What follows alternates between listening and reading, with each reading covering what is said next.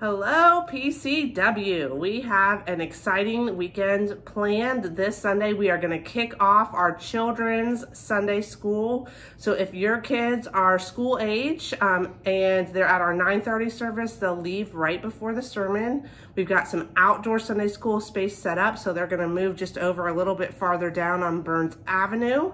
If you are planning to come to the 11 a.m. service and want your kids to participate in Sunday school, you can drop them off right there on the Burns side at 10 a.m. Um, we'll have our Sunday school teachers there. We're doing some Lego building mm-hmm. faith. Um, mm-hmm. So we're really excited about that.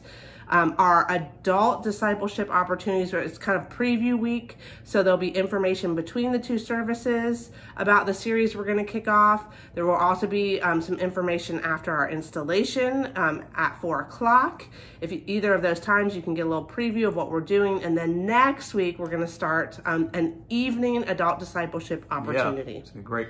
And speaking of our installation, our installation is this week, this, this week. Sunday at 3 p.m. We encourage you to come on out to that. We're going to have a little reception following that. I hear ice cream. Ice cream. I hear there's going to be some ice cream right after the service outside. So that should be fun. So we encourage you to come out. We got uh, we got a good service plan for that, and we'll finally officially be installed as your pastors here at PCW. Um, we also wanted to share a little bit about what's going on with Mission. So we are starting as part of our 150th uh, celebration. We're doing a diaper and food drive for Valley Interfaith. Uh, so we encourage you to bring either peanut butter, canned fruit, uh, and diapers to PCW all these all Sundays of September. Uh, so that we can collect that to help them. We're also collecting money, uh, as, as you know, as part of our anniversary as well, in increments of one five to kind of get at that 150th. So if you want to donate, that's great. If you want to give uh, the diapers, canned fruit, or peanut butter, that's great as well. So we encourage you to participate in that.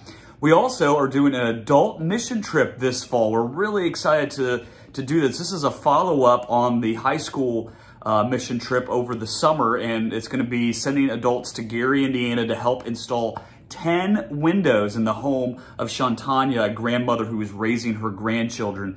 This is a really cool opportunity. If you want to be a part of that, be in touch with Bill Morley or Ken Popham. You'll see in this email their contacts uh, a little further down if you're uh, watching this on the e-news.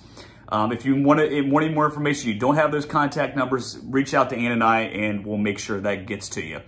Um, also, what's going on with us, Ann, next week? So next week, we are going on vacation. Um, Lord willing and the creek don't rise, we're going to meet a new baby in the family next week, but yep. that does mean after Monday, we're going to be out of the office. Yep. So we'll be sending out a little information about who to contact if you have an emergency or that kind of thing. We've got a great guest preacher lined up for the 19th. Yep. And then we will be back at it again on the 20th.